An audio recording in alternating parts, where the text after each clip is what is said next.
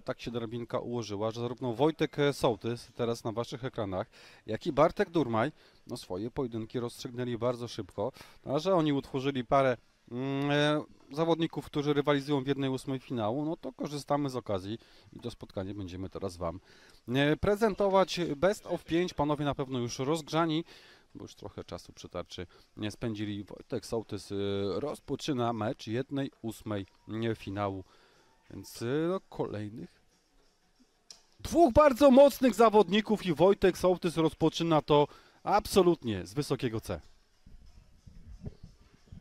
No, nie chcę mówić, że dziewiąta lotka jest e, w zasięgu, no ale jest, no ale jest.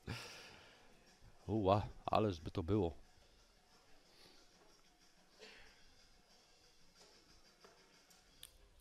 Szkoda, szkoda, na pewno szkoda, no ale Wojtek Sołtys nie zwalnia tempa.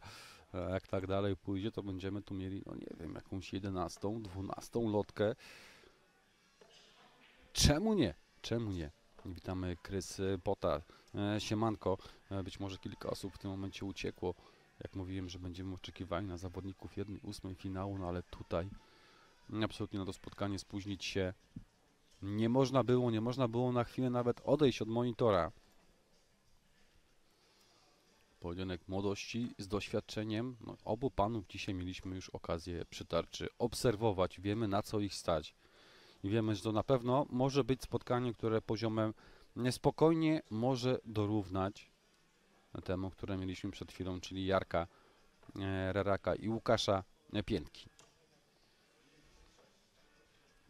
No na pewno jest moc. Jest moc, jeżeli chodzi o Wojtka Sołtysa, o początek rywalizacji. E, Finał mniej więcej o której? e, Pyta Adam Zapaśnik. E, Drogie damie, no to wygląda tak, że mm, teraz no jest jedna ósma finału. No nie wiem, być może pokażemy jeszcze jedno spotkanie jednej ósmej finału, jak tu szybko pójdzie. Tam się jeszcze kończą mecze jedne- jednej szesnastej finału, no więc załóżmy, że jeszcze jedno spotkanie jednej ósmej będzie mm, pokazane. Potem na pewno jedno spotkanie jednej czwartej.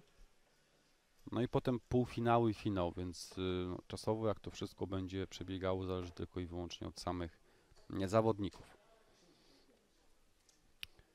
4-8 Wojtek Sołtys, 101 Bartek Durmaj, więc też Bartek na tym dystansie absolutnie gonił. Gonił, ale okazji prześcignąć miał nie będzie, bo Wojtek Sołtys robi to kapitalnie.